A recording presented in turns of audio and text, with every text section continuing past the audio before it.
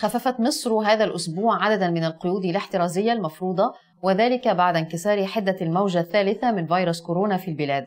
ومع الإعلان رسميا عن إنتاج أول مليون جرعة من لقاح فاكسيرا لسينوفاك المصنع في مصر يتخوف المصريون من موجة رابعة للفيروس أو وصول متحور دلتا إلى البلاد وخصوصا بعدما أكدت وزيرة الصحة احتمالية وصوله لمصر. وحول وضع كورونا في مصر. معي أمجد الحداد أستاذ الحساسية والمناعة بالمصلي واللقاح. أهلا بك يا دكتور أمجد. أهلا بيكي واهلا بالسادة المشاهدين يا فندم. خليني أدخل في, الم... في في السؤال مباشر. ما الفارق بين الموجة الرابعة ومتحور دلتا؟ طيب هو إحنا الحمد لله انكسرت الموجة الثالثه حتى الآن. إحنا وطبعا بعد كل موجة بيحصل نوع من الهدوء والإصابات بتقل ولكن نفاجئ بموجة ارتدادية. المرة دي الموجة الارتدادية ليه إحنا خايفين منها؟ إنها تيجي لأن إحنا بنواجه متحور جديد بيضرب العالم كله حتى الدول اللي منظومة التطعيمات عندها قوية ابتدى يضرب فيها زي بريطانيا. وحتى الآن هاجم أكثر من 90 دولة. المتحور ده قدرته على الانتشار سريعة جدا جدا. بالتالي إن إحنا مهددين المتحور ده يجي لنا. فالموجة الرابعة بتاعتنا لو حدثت هيكون من هذا المتحور طب إحنا ليه هذا المتحور بسبب سرعته وقدرته على الانتشار. قدرته على الانتشار السريع بتخليه ممكن يكون يهاجم مصر ويقدر يخش مصر مرة ثانية وكمان قدرة التطعيمات على التصدي ليه وقدرة منظومه التطعيمات اللي بتتم في مصر على التصدي لهذا اللقاح هو ده التحدي. يعني هيكون عندي موجة رابعة ولا لأ؟ وهيكون الموجة من المتحور ولا لأ؟ ده على حسب الإجراءات الاحترازية اللي هتتخذها الدولة الفترة اللي جاية. وعلى حسب منظومة التطعيمات اللي هتحصل. بمعنى إن إحنا لو تم تطعيم جزء كبير من المجتمع خلال الشهرين القادمين ممكن تكون عندي موجة ارتدادية ضعيفة ضعيفة في هل ده ثبت يا دكتور؟ يعني هل ثبت إنه لو أنا طعمت مش هيكون في خطر للمتحور خاصة إنه من الشواهد الأولية في التطعيمات هتكلم عن مصر تحديدا إنه من يعني من تم تطعيمه في بعض الأطباء توفوا بعد أن أخذوا التطعيم أصيبوا بالكورونا مرة أخرى وتوفوا بعدها. فبالتالي إيه الضمانة اللي تقول إن أنا لو في تطعيمات فخطر المتحور دلتا مش هيكون موجود في مصر أو هيقل؟ إحنا لو هنتكلم عن إصابات آه في إصابات ممكن تحدث مع المتحول وتزيد زي ما حصل في النموذج البريطاني. لكن مع التطعيمات خطورة المضاعفات الأقل حتى مع المتحول. وهنضرب مثلا النموذج البريطاني اللي لسه بيقول النهارده إن هو مصر إن هو هيفتح الفترة اللي جاية يفتح يوم 19 رغم إن المتحور عنده بيعزف بقوة وعنده إصابات بالألوفات من المتحور. ولكن نسبة دخول المستشفيات ونسب الإشغال برضه لا تزال الأقل. نسب الوفيات مع التطعيمات الأقل. بمعنى إن التطعيمات حمت بنسبة كبيرة من المضاعفات الخطيره حتى مع المتحور. آه ما منعتش الإصابات بنسبة ما الإصابات زادت ولكن المضاعفات نسب دخول المستشفيات. أنا ليه بضرب النموذج البريطاني؟ مش النموذج المصري لأن النموذج البريطاني حتى الآن هو النموذج اللي طعم جزء كبير من المجتمع. وبيتجه للفتح رغم وجود متحور لأن منظومة التطعيمات بقوة هناك نجحت بقوة للتصدي إلى المضاعفات الخطيره كيرف الوفيات لا يزال محدود في بريطانيا. آه في وفيات ولكنها الأقل. إحنا بنتكلم من 10 ل 15 وفاة يوميا في بريطانيا بعد ما كان ألوفات الوفيات. طب دلوقتي مع لو نقلنا الوضع لو نقلنا الوضع لمصر هيكون إيه الإجراءات اللي ممكن تتخذ؟ هل في إجراءات أعلى مثلا؟ ولا هي نفس الإجراءات الاحترازية المتبعة؟ الدولة ابتدت تتجه إن أنا ما انتظرش شحنات من التطعيمات تصل إلى مصر أو تتأخر. ابتدى فكرة التصنيع. لو فكرة التصنيع المحلي وصلت بوتيرة عالية جدا وطعمنا جزء كبير من المجتمع وخصوصا كبار السن قبل شهر تسعة اللي إحنا متوقعين يكون فيه موجة تسعة أو عشرة لو وصلنا إلى جزء كبير من المجتمع تم تطعيمه ستكون موجة مصر موجة ضعيفة جدا بدون وفيات أو بدون مضاعفات. إيه بعد كل موجة إحنا بنقول إجراءات احترازية، الموجة الوحيدة اللي هنقول عليها إجراءات احترازية وتطعيمات هي الموجة الرابعة لأن في الموجات اللي قبل كده ما كانش فيه تطعيمات. دي الموجة الوحيدة اللي فيه موجود تطعيمات وخلاص ابتدينا نصنع. وبالتالي لو وتيره التطعيمات مشيت في مصر بقوة وبسرعة الفترة القادمة وده اللي بتتجه اليه الدولة إنها بتستورد وبتصنع في نفس الوقت. لو مشيت بقوة ممكن ما يكونش عندي موجه رابعه ولو حصل هتكون موجة ضعيفة في وفياتها وإيه وحدتها ودخول المستشفيات. ما بقولش مش هيبقى في إصابات ممكن يبقى في إصابات كتير مع المتحور ولكن تكون إصابات بسيطة متوسطة. طيب. دكتور أمجد على ذكر حضرتك للتطعيمات حضرتك أو على عفوا على ذكر حضرتك للتصنيع وقيام فاكسيرا بتصنيع أول مليون جرعة من لقاح السينوفاك هل بهذا التصنيع ست... س... ستظل لنا الأحقية في تناول اللقاحات الجاية من تحالف كوفاكس أم لا؟ التصنيع المحلي ده واخد موافقة منظمة الصحة العالمية لأن إحنا هنكون أكبر مصدر لأفريقيا. ملوش دعوة باتفاقيات منظمة الصحة العالمية كوفاكس لأن إحنا ماشيين في كل الاتجاهات. إن أنت بتستورد من الخارج لتغطي تطعيماتك وفي نفس الوقت بتاخد المواد الخام من الصين وتبتدي تصنع الإنتاج المحلي اللي أنت بتسد بيه احتياجاتك لأن فيروس كورونا مش فيروس هيستمر معك أشهر لأ هيستمر معانا أعوام. سيتحول إلى فيروس موسمي سيتم التطعيم له كل عام وبالتالي إن أنت تعتمد على اتفاقيات وتطعيمات تصل أم لا تصل هذا شيء أعتقد أنه إن أنت اعتمادك على الخارج في الفترة القادمة ممكن يسبب لك مشاكل في تأخر شحنات كما يحدث الآن ولكن اعتمادك على التصنيع المحلي بجانب الاستيراد هيسد العجز في التطعيمات ويسد الفجوة وتصل إلى مناعة القطيع عن طريق التطعيم وبعد فترة سيتم التصدير لدول أفريقيا طبقا لتوصيات منظمة الصحة العالميه لتكون مصر هي المصدر الأساسي والوحيد للقارة الأفريقية في القريب العاجل. طيب إيه هي أعراض المتحور دلتا؟ لحد دلوقتي السمات الغالبة في المتحورات هي الاعراض التنفسية.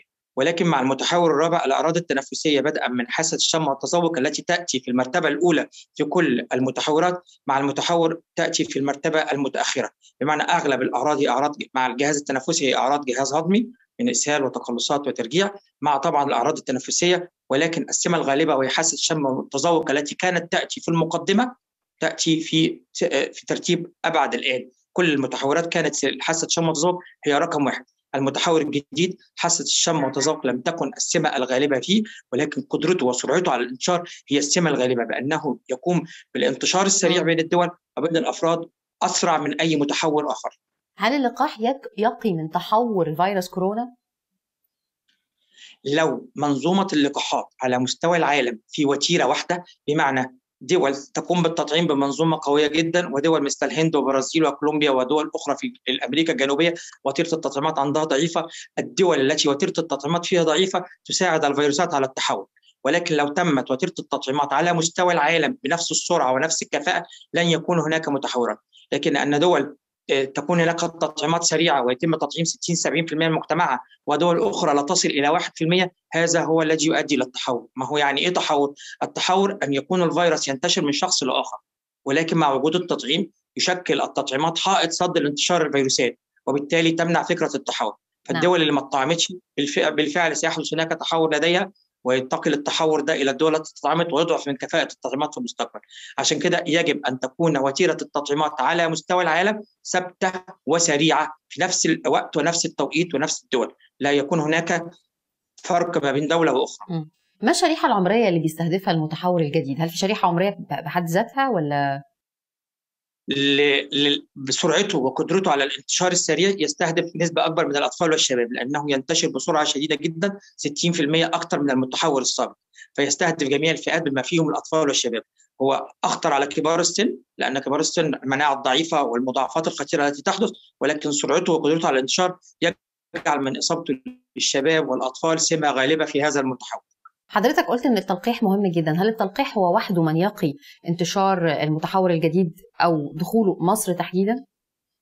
لا تزال الكمامة والتباعد الاجتماعي هو الأساس للوقايه من هذا الفيروس ايا كان نوع التحول إن الفيروس التنفسي استنشاقه هو الذي يؤدي للمشاكل. بمعنى لو أن هناك تباعد اجتماعي وكمامات وإجراءات الغلق والإجراءات الاحترازيه المتحور سوف يكون ضعيفا وقدرته على الانتشار ستقل.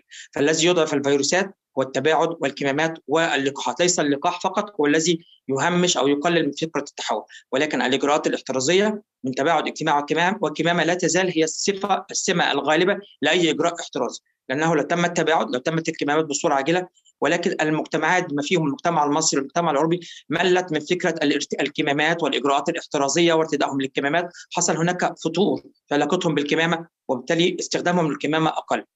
وده هو الكارثة. عدم استخدامنا للكمامة سيساعد بالفعل الفيروس في الانتشار السريع ويجعل المتحور يضرب بقوة في الدول العربية. ولكن ارتدائنا للكمامات وتباعدنا الاجتماعي لا يزال هو الأهم بجانب التطعيمات في هذه المرحلة لمنع انتشار المتحور بقوه. نعم، طب قول لي حضرتك تقييمك للموجة الثالثة لفيروس كورونا في مصر في ظل مثلا ارتفاع نسبة الوفيات في الفترة الأخيرة كما شاهدناها، تقييمك للوضع الوبائي في مصر إزاي؟ إحنا كنا في اواخر رمضان وفي العيد كانت هناك ذروة قوية جدا كانت أعداد الوفيات كبيرة جدا كانت الإصابات كثيره كبيرة جدا. كنا نسمي هذه الموجة بأنها كورونا بالحجم العائلي نظرا للإصابات المفرطة العائلية داخل المنزل الواحد من هذا الإصابة. ولكن الحمد لله حوالي ال 15 يوم اللي فاتوا الكيرف بدأ يقل بسبب الإجراءات التي اتخذتها الدولة أو بسبب منظومة التطعيمات التي تمت لكبار السن. curve الوفيات في مصر ابتدى يقل بقى لنا يجي أسبوع و10 أيام. امبارح مصر سجلت 20 حالة وفاة مسجلين 175 إصابة وده الحد الأدنى اللي وصلنا له الفترة اللي فاتت. وأتوقع أن يقل الاعداد وتقل الوفيات خلال شهر سبعة وستعاود الزيادة في حالة عدم التزام المواطنين في شهر 8 وفي حالة عدم التزامهم بالتطعيمات. اللي هيمنع موجة رابعة ثاني أخرى أو ارتدادية إحنا الحمد لله ال curve بيقل في وفياته واصاباته وقد نصل إلى أقل من ذلك بكثير ولكن معرضون لمتحور قوي انظر حولك ابتدى يغزو العالم حوالينا الأردن تونس المغرب الدول الأوروبية فاحنا مش هنكون في معزل مهما تبعنا من اي اجراءات احترازيه قد يدخل المتحول. عشان كده بقول للناس إحنا الفترة الجاية هي فترة مصايف فترة اعياد علينا جميعا أن نلتزم بإجراءاتنا الاحترازية من تباعد وكمامه حتى تنتهي ما يسمى بموجات ارتداديه وكذلك اللقاحات. اللقاحات مع الإجراءات الاحترازية في هذه المرحلة هو الأهم لمنع أي تحول الفيروس ومنع أي موجات ارتدادية أخرى. هل هناك curve واضح مثلا لحجم التطعيمات في المحافظات؟ قد إيه أي المحافظات اللي اخذت التطعيمات بشكل اكبر اللقاحات عفوا بشكل أكبر أي المحافظات بشكل أضعف نسب الوفيات وحتى الإصابات هل في curve ات واضحة أنتم كأطباء بتطلعوا عليها بتعرفوا مين النسب العالية والأقل في كل محافظة؟ أكيد الوزارة عندها بيانات إحصائية شاملة ولكن ما يطلع عليه وبينزل على موقع الوزارة هو total الوفيات و total اللقاحات و total الإصابات. حتى الآن وفيات مصر يوميا الآن بقالنا في ثبات حوالي 20 وفاة يوميا. الإصابات انكسرت عن ال 200 وده مؤشر جيد لانحصار الموجه ده على المستوى الرسمي. حتى على المستوى الغير رسمي العيادات المستشفيات مستشفيات العزل ابتدت ترجع تاني المستشفيات حكومية مرة أخرى. تمت الأسرة فضيت ما بقاش في خلاص حالات كتير في المستشفيات. وعلى المستوى الخاص في العيادات الخاصة إحنا في عياداتنا وشغلنا بالفعل الإصابات بتقل الوفاه بتقل. معدل الحالات اللي بنشوفها في الحالات ال private هي الأقل بكثير. فعليا على المستوى الرسمي والغير الرسمي الأعداد بتنخفض في مصر بنسبة كبيرة جدا وفيات وإصابات. هذا انكسار حاد للموجة ولكن فعليا نحن خايفون من موجة ارتدائيه أخرى ولكن بالنسبة للموجة الثالثة بالفعل في في سبيلها إلى الانحصار في وفياتها وإصابتها. من واقع عملك يا دكتور أمجد. البعض بيقلل من فعالية لقاح سينوفاك. من واقع عملك ومن واقع ما رأيت ومن واقع شغلك حقيقة هذا الأمر. هل فعلا سينوفاك فعال؟ فعال بنسبة قد إيه من مقارنة بلقاحات أخرى؟ طيب خلينا أقول لو اللقاحات كلها متفاوتة متفاوتة في نسب الوقاية من الإصابات. بمعنى ان اللقاح الصيني سينوفارم سينوفاك استرازينكا فايزر جونسون اند جونسون جميعها فيها تفاوت في نسب الوقاية من الإصابات. ولكن نسب الوقاية من المضاعفات كلهم متقاربين. بمعنى وده الأهم بالنسبة لي. أنا لا ما بيهمنيش نسب الإصابة. لأن إحنا زي ما شفت في المتحور اللي هو البريطاني رغم وجود لقاح استرازينكا بقوة داخل المجتمع البريطاني نسب الإصابات بتزيد تاني. لكن الوفيات الأقل. بمعنى أنا ما ببصش اللقاح ده ناجح في الوقاية من الإصابة ولا لأ ولكن نظرتي ليه في حمايته من الوفيات والمضاعفات. قد يكون لقاح سينوفارم أو سينوفاك أو اللقاحات الصينيه أقل في نسب الحماية من الإصابة ولكن نسب الحماية من المضاعفات وده الأهم وده الموجود فعليا أنها تحمي من المضاعفات الخطيره جميع اللقاحات تحمي من المضاعفات بنسب متفاوتة من 95 إلى 100% تختلف درجتها من لقاح لاخر في نسب الحماية من الإصابة. آه سينوفاك غير سينوفارم غير أسترازينكا ولكن الجميع وده الأهم تحمي من المضاعفات بنسبة كبيرة جدا. أنا كمجتمع مصري عايز أطعم جزء كبير من المجتمع أحميه من المضاعفات وده الأهم. فالوسيلة الوحيدة إن أنا أصنع لقاح يحمي من المضاعفات وده الأهم. وجود لقاح صيني حتى لو أنتوا لو بنقول ان هو نسب حمايته من الاصابات الأقل إلا أنه حمايته من المضاعفات وده الأهم بالنسبة لي ده أهم جدا وضروري يحمي من المضاعفات بنسبة تصل إلى 5 من 95 إلى 100% في معظم الحالات.